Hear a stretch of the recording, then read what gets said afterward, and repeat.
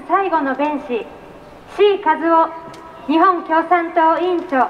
前衆議院議員をご紹介します。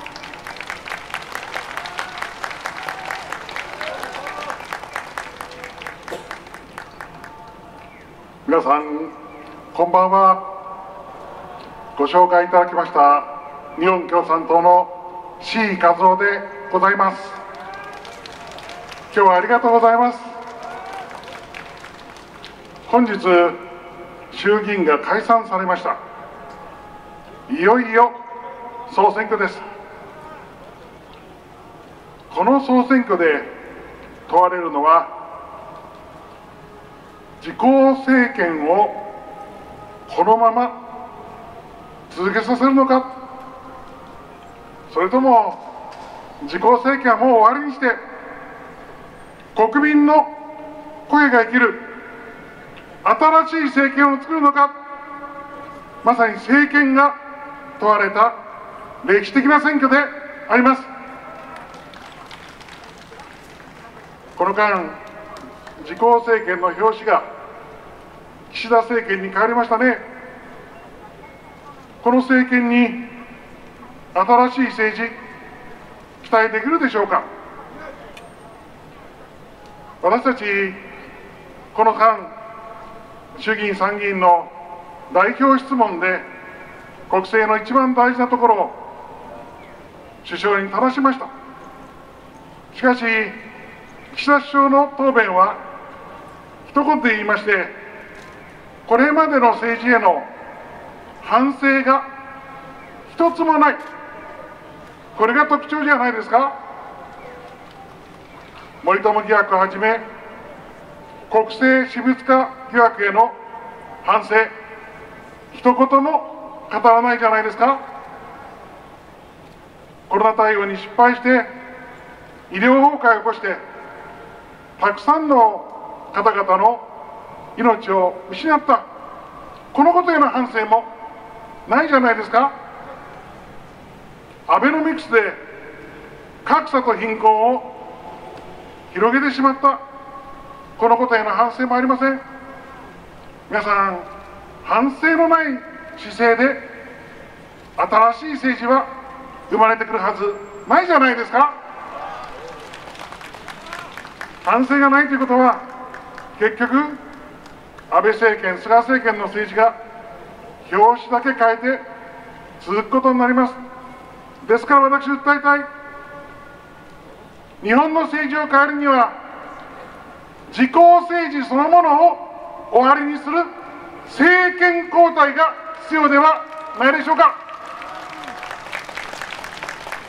今度の総選挙で、日本共産党は99年の党の歴史で初めて多くの国民の皆さん他の野党の皆さんとしっかり力を合わせて政権交代を実現し国民の声が生きる新しい政権を作るために全力を挙げて頑張りますそしてその最大の推進力になるのは日本共産党の躍進であります比例は共産党、この声をどうか広げに広げていただきまして、首都東京から共産党大躍進を勝ち取らせていただきますよう、よろしくお願いいたします。そしてこの東京12区では、今お訴えした池内沙織さん、どうか小選挙区で勝たせていただきたい。心から訴えたいと思います。皆さん、この間、新型コロナの感染爆発、医療崩壊が起こり、多くの命が失われました。コロナとの戦いはまだまだ続きます。私はコロナから命を守るためには次の3つの点で、これまでの政府の対応の厳しい反省と切り替えが必要だと訴えたいと思います。第1は、科学を無視した対応を大元から改めることです。政府は昨年5月 PCR 検査を広げると医療崩壊が起こるという内部文書をばらまきまして検査を抑えました。しかし検査を怠った結果特に無症状の感染者をきちんと把握して保護する戦略を持たなかったために医療崩壊が起こったじゃないですか。科学無視の最たるものは私は緊急事態宣言下でオリンピック・パラリンピックを強行したことにあると思います。一方で人類最大のお祭りやりながら他方で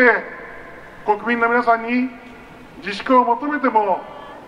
説得力ないですね。開催の強行が感染爆発を招き多くの犠牲を生んだことへの痛切な反省が必要ではないでしょうか。今新規感染者だいぶ減ってきています。こういう時こそワクチンの接種と一体に大規模検査が必要です。大規模検査によって感染の火種を消してしまう。これを今度こそやろうじゃないですか。誰でも何度でも無料で PCR 検査が受けられる体制すぐ作れ。このことを求めていこうじゃありませんか。第二に訴えたいのはこの40年来続けてきた。医療と公衆衛生を切り捨てる。政治を大元から切り替えようということです。日本共産党は二度と医療崩壊を起こさないために次のような医療公衆衛生再生プログラムを提案しております。一つは感染症の入院ベッドと保健所をこの間半分にしてしまいました。それが医療崩壊につながりました。ですからそれぞれ国の予算を2倍にして拡充に切り替えようではありませんか。2つ目にお医者さんの数を抑制してきた結果日本の医師数は人口比で言いますと先進国の水準に比べまして14万人も足らない。医師削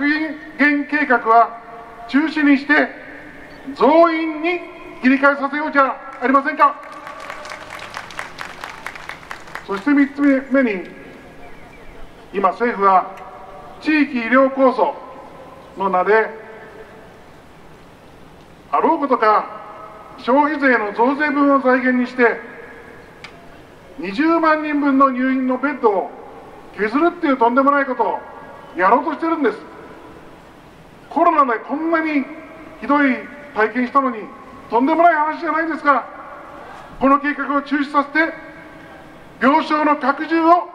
求めていこうじゃありませんか。第三に訴えたいのはコロナで傷ついた暮らしと営業を支援することです。今中小業者の倒産廃業ひどい状態です。東京商工リサーチの調査では宿泊業観光業の中小業者の皆さんのうち3割が廃業を検討している。政府が保証しなかった責任重いんじゃないでしょうか。持続化給付金家賃支援給付金第2弾支給させようじゃありませんか。そして私たち共産党はコロナで収入が減った方々に対して中間層も含めて広く対象にしまして1人基本的に10万円の暮らし応援支援金を出そうということを提案しておりますが、いかがでしょうか？皆さん、日本共産党は、オリンピック・パラリンピックへの姿勢に強調されるように、何より命をブレずに貫く政党です。どうかこの党を大きく伸ばしていただいて、国民の命を守る政治、ご一緒に作っていこうじゃありませんか。よろしくお願いいたします。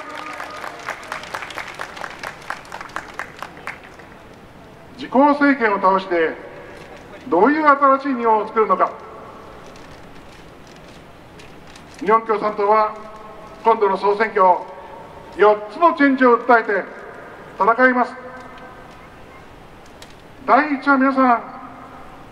弱肉強食の新自由主義はもう終わりにして、命と暮らしを何よりも大切にする政治へのチェンジであります。岸田首相は新しい資本主義って言い出しましたね。成長と分配の好循環ということを言い出しました。しかし、この成長と分配の好循環というスローガンは、安倍首相のスローガンなんですよ。調べてみましたら、本会議で55回もこのスローガン連呼してるんです。ですから、岸田さんが言ってることは、アベノミクスの3番戦時、もう出がらしで、味もなければ色もない、これが岸田さんの経済論であります。それじゃあそのアベノミクスがもたらしたものは何だったか。貧富の格差の劇的な拡大です。この9年間で日本の大富豪の資産は6兆円から24兆円に4倍も膨れ上がったんです。その一方で、働く人の実質賃金は22万円も年間減りました。皆さん、よくトリクルダウンって言葉、聞きますよね。大金持ちが儲ければ、いずれは庶民のところに回ってくる。こういう理屈なんですが、トリクルダウンはついに起こらなかったではありませんか。だったら買いましょうよ。